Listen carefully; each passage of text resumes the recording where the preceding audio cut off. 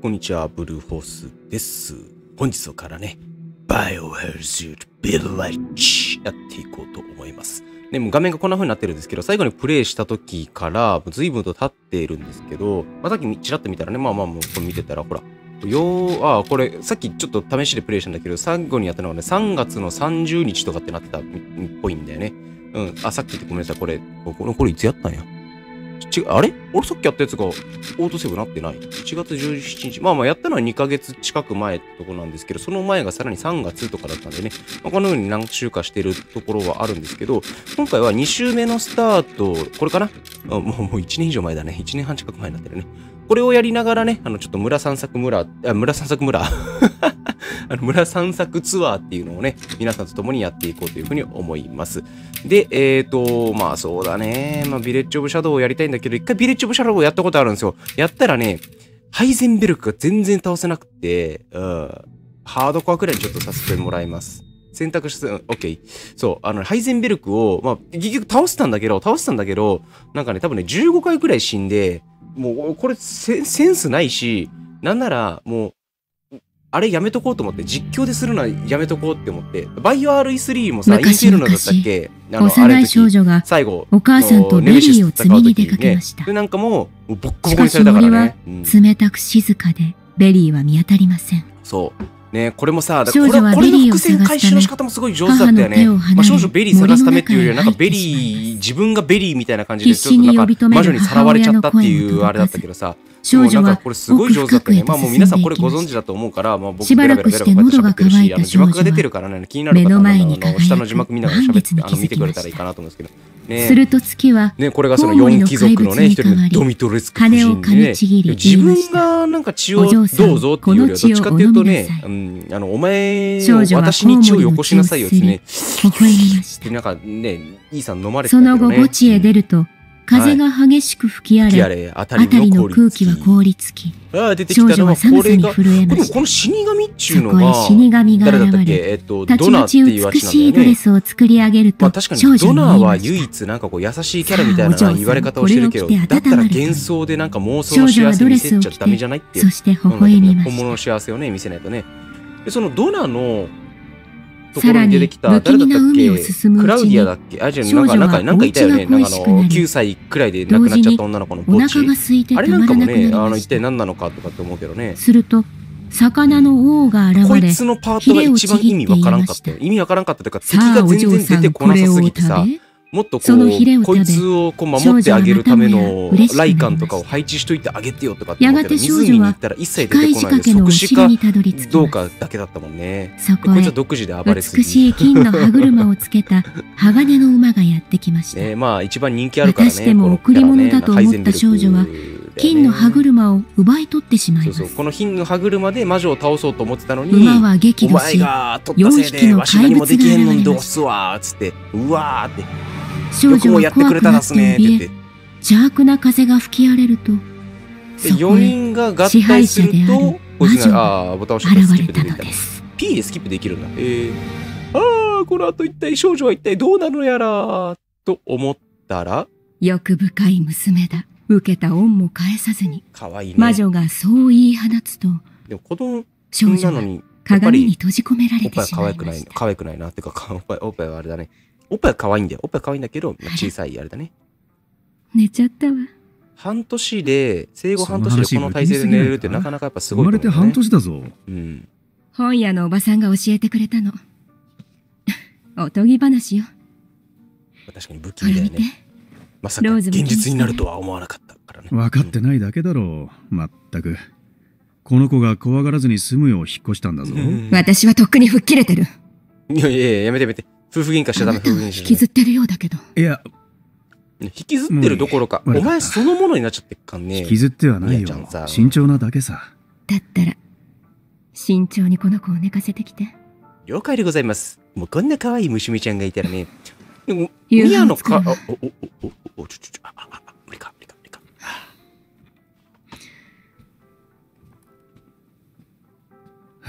透けないかな透けないよな無理平気だ、ローズ。ママは思い出したくないんだ。そりゃそうさ。ちょっと待って。今、え？何か言った？何何も言ってないんだけどあの、俺おかしいんだ？家の中でコート着てるんだぜ。おかしいよね。お、絵本。こんなのあったっけ？また本を買ったのか？俺の給料カツカツなのに。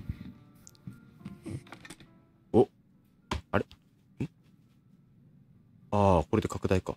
あ、なるほどね。クリックしながらじゃないといけないのか。ああ、ミヤ。本当によかった。そうなんですよ。本当に。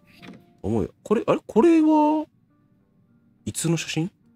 これおかしくない？これはこんな未来、3年前は想像もできなかった。6ヶ月だったらまだギリギリ。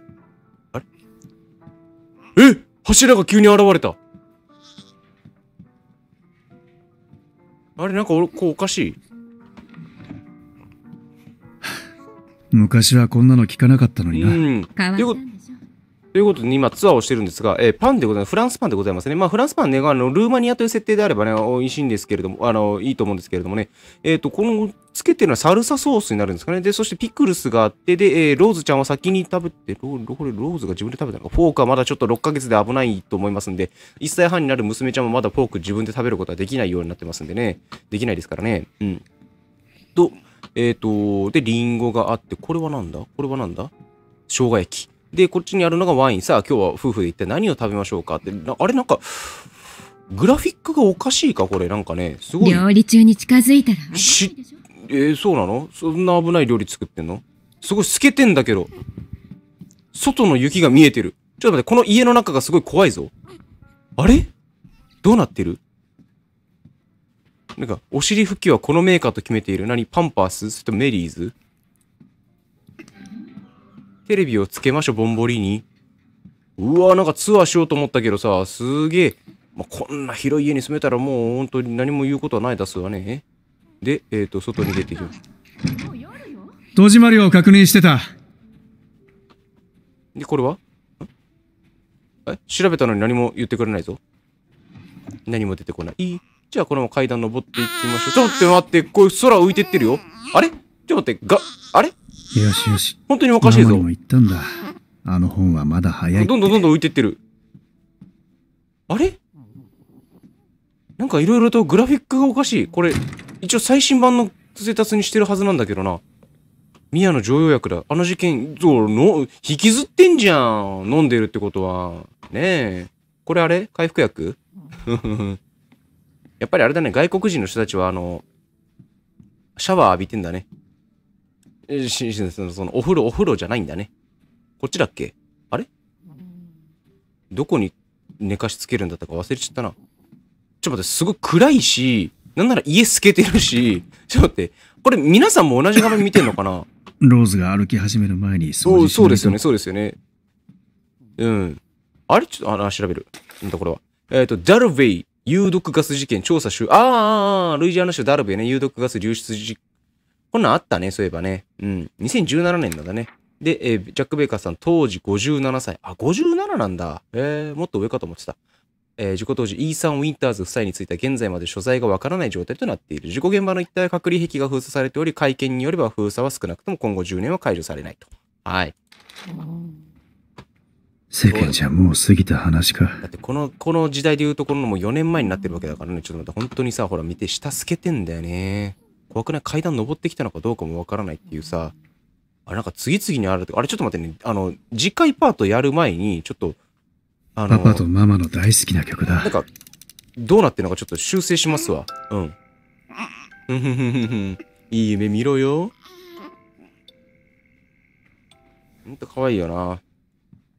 もうすぐだからな。うん。で、えっ、と、風船。これはただの飾りか。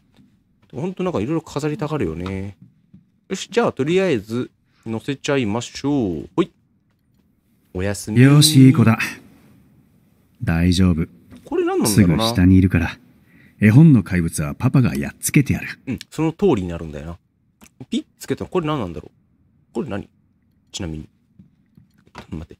家の、家の中にいたし、あ、かわいいな皆さんわかります？これしゃがめないんだ。しゃがめないのが残念だな。すげえかわいい。で、えっ、と、あ、これローズを抱えてたからなんかあれなのかなと。さあ。えっ、と、ミヤの下着はないのかな ?33 歳。まあ、あの、ね、いい感じに売れてきた頃でございますね。これ、これ仕事か。また、あ、日記か。うん。そうだよな、そうだよな。ミヤが神経質になるのもわかる。だけど、すべて忘れて過去を封印することが本当に正しいんだろうか。ローストの未来を紡ぐには、あの日、俺たちが経験したことをもう一度向き合う必要があるんじゃないか。それがあの子の責任だと思う。本当はミヤも分かってるはずだ。でなければ、病院であんなに取り乱したりしない。ああ、こんだけか。で、えっ、と、これは？そう、2020年8月2日、ね。62.3センチ、6.57。ん？違うな。えー、っと、あれ？この時がもうすでに半年だったってこと？ローズは平気だ。あおう。お猿さんだよ。ガンサル・ジョン、ジョー・ケンドルそんなすぐに吹っ切れるもんか。結婚式。これ今の家？か。うん。あ、ちょっと待って。あ、こっちか。ボタン押してるの全然めくれないと思って。酒飲んでんのか、これ。えー。あ、じゃじゃじゃ戻して、戻して、じゃじゃじゃじゃブレブレブレブレブレブレブレブレめくってめくって。はい、次。NEXT! 生まれたーそうなんだよね。皆さん、あの、子供が生まれた瞬間に立ち会ったことがある人はわかると思うんだけど、そうずっとこのままでいられたら。あのね、最初生まれた時さ、そのなんか、その中に残ってる羊水、その奥、体の中に残ってる羊水っていうか、その、喉とかでその詰まらせて死なないようにするために管を通すんですよ。口から入れてね。その時にズボズボズボズボ入れて、で、ギュッギュッギュッギュッって、って言ってめっちゃ吸ってくんだけど、あれがね、ほんとね、透けてんだよな、相変わらずな。そう。そう、あれがね、本当に子供な、子供に何すんねんみたいな。ミヤのおかげで、これもなかなか減らないな。うん、そんなこと言ってたら、なんか言ったってまた怒られるんじゃない？大丈夫？じゃあ、えー夫婦団らんの時間を過ごしましょうか。あの子は？寝たよ。よく寝てるよ。うん赤ちゃんらしく。赤ちゃんだもんな。うんこれは何？ルーマニアの料理だ、ね、これは？あ、まだダメ。シオルバデレギューム。地元の料理よ。えー、すっかり地元民ってわけだな。シオルバでギ地元のワインワインがは、ワイングラスが入ってきた。でもあなたがいじけたままでいるなら、これはお預けね。ちょっと待って、本当におかしいんだよな。いつの間に用意してくれたんだあなた本当う。に気にしすぎよ。どうもどうも。だけど、ワインの入れ方がワイルナでのことドですねや。、君の妊娠、クリスに引っ越しさせられて、戦闘訓練までいろいろあったから戦闘訓。練させられでもてたんだ。、家族が一緒にいるわ。うん。あなたと私とローズ。そうだね。今は、それで十分。それで十分確かに。そんなすぐにいやいや、だから、のことをこういうところだって、とっくの昔に終わったことよ。なのに、あなたと来たらまだ、なんだ？この時がおかしいんだよな。なんでってならん。倒れないんだもんな、一発いや撃って。伏せろこれ、どっかの事件、日本で起こった事件になっちゃう。あー、もう、これね、なんでね、銃あのここんな銃撃を今ね、ミヤがされてるか皆さんご存知です？昨日ね、クリスパチンコで負けたんだって。そう。3万負けてさ、腹いせにさ、もうちょっと幸せそうな家庭をこう、1からいや10までこう、回してって、一軒一軒こうやって銃撃してるんだって。で、3万円手に入るまで、あの、回るのやめまってみたいななんでお前が？悪いな、イーさん。やめろこれでまだ生きてたんだ。声漏らすって。どうして？ピクピクピクピクしてんのおう、どうも。あ、どうも。お前らもパチンコで負けたのか？俺たちは1万5千円ずつだ。クリスタースで6万円負けたんだ。はぁ。くだらないね。でこれ本当にだ、ほら、ほら、もう家がスケスケだもんね。やばくない？なんでこうなってんの？あのね、あ、あの、モッドとかも入れたことがないからね。モッド入れてたら今頃あの、ローズの顔がクリスになってっからさ。おい、娘に何する？ちょっと待って、本当に、なんで？どうぞ。あ、どうもどうもどうも。連れて行け。おい、ローズに触るなイーさん。やめとけ。ちょっとこれ怖いの不気味だね、ほんとに。あ、痛いの？やめて。こん、あ、ちょっと本当になんでこんな家透けてんの？あれ？運び出せ。あれだな、逆に面白いからこのまま進めていくことにしようか。ねえ。ほら、もう、何にその電気がつぶら下がってんのかもわかんないけど、もう、外に連れ出すのそのドアからじゃなくてもいいんじゃねっていうね。いやー、まさかのこう、ちょっと散策ツアーを皆さんにお見せしましょうとかって思ってたのに、まさかのスケスケだったね、家がね。ほら、もう家の、家がわけわからないもん。地面見えてんだもん、下。ほら。もしもし。先生 なるほどね。裏の世界はこうなってたんだね。へわかりましたー。わかりました。はい。えー、家の目の前がなんか湖みたいなのがある来週来いって湖畔なのかな？ルーマニアだからね。海あれ、ルーマニアって一時どこだったっけな？東欧、よくちょっと覚えてないけど、海は面してないはずだよね。もう話し合ったのほんとスケスケだもんな。やばいよね、この家ね、本当に。ここのとこその話ばっかり目の。前であれだね、よく見たらローズ寝てたんだね。何度も言ってるわよねちょっと気。持ち小心さいよね。配なのはローズじゃないって。じゃあ何が心配なんだ？ローズ気持ち小さい中で、ローズならあの通り元気だろうん何が問題だ？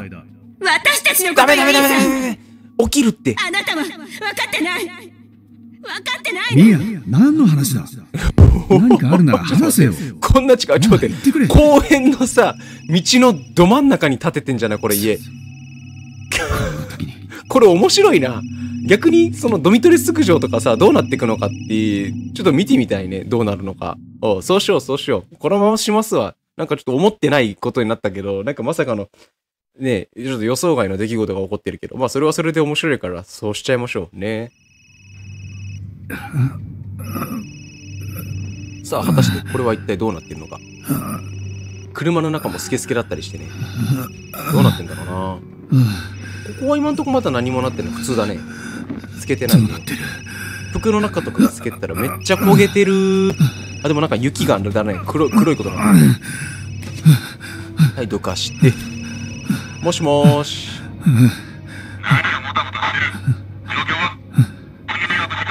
なんかこれあれだね。なんかあの、コーリングみたいな。クリスはどこにいる？ローズは？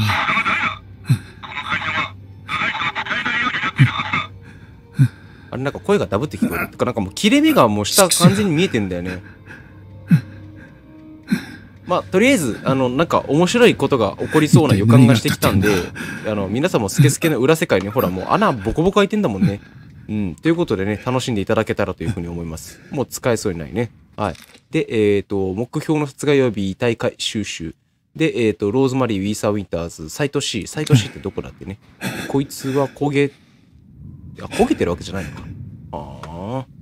はい。ということでね、なんかちょっとあの、よくわかんない波乱の幕開けになりましたが、ぜひね、あの、楽しんでていただけたらというふうに思いますんで、ぜひね、次回パートまたお楽しみいただけたら嬉しいです。ということで、本日の動画は以上でございます。ぜひね、チャンネル登録ボタン、グッドボタンを押してね、応援していただけたら嬉しいです。ではまた次回お会いいたしましょう。バイバイ。